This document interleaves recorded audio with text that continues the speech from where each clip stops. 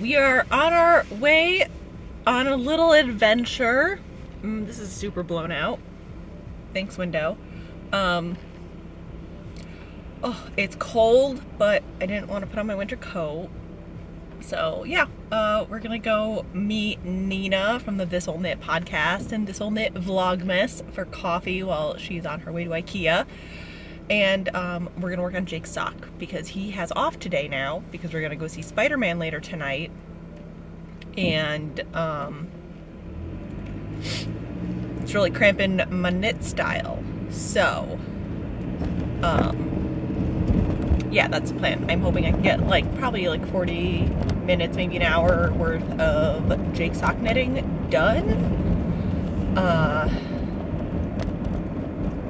and then, goodbye. Yeah, but we gotta make a couple pit stops on the way and send out a package and, um, yeah.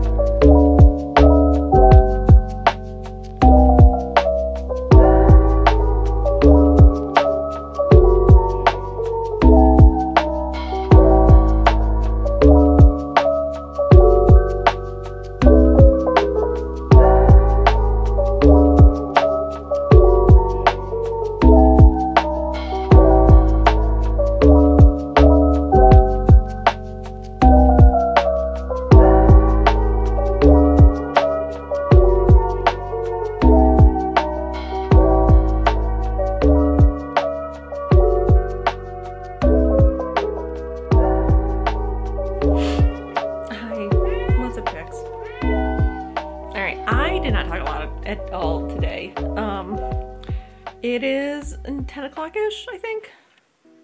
Let's check. 10:20. So we just got back from seeing Spider-Man: No Way Home. It was so good. Ugh, it was so good. Um, yeah, I had big plans to do a bunch of planner stuff.